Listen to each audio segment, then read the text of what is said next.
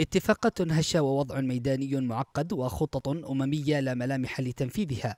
هكذا يبدو المشهد في الحديدة بعد خروقات عديدة وعودة الوضع العسكري إلى المربع الأول. رئيس لجنة تنسيق إعادة الانتشار في الحديدة الجنرال أبهاجيت جوها أدان خروقات وقف إطلاق النار في المناطق المتفق عليها. جوها دعا في بيان له جميع الأطراف إلى الالتزام بوقف إطلاق النار في المحافظة على النحو المتفق عليه في اتفاقية ستوكهولم. مصادر عسكرية قالت إن ميليشيا الحوثي شنت هجوما عنيفا على مواقع قوات الجيش بالأسلحة المتوسطة والثقيلة شرق مديرية التحيتة كما استهدفت مواقع للجيش شمال منطقة الجبلية في المديرية ذاتها.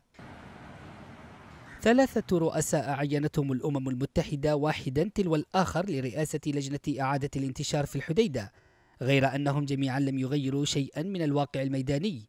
ولم يتمكنوا من وقف إطلاق النار وتوزيع القوات خارج المدينة. مراقبون قالوا إن الحوثيين ما زالوا يمثلون العائق الرئيسي في طريق تنفيذ اتفاق إعادة الانتشار حيث يسخرون كل إمكانات المحافظة للأغراض الحربية ويكثفون من خروقاتهم للاتفاق وهو ما يقلص من فرص الحل في المحافظة. محاولات عديدة تقوم بها الأمم المتحدة في طريق وقف إطلاق النار بالحديدة لكن تبقى التحديات ماثلة أمام هذه المهمة بالغة الصعوبة. نتيجة الخروقات المتكررة بالإضافة إلى عدم تغير شكل تعاطي الأمم المتحدة بصرامة أكثر مع الأطراف المعرقلة للاتفاق.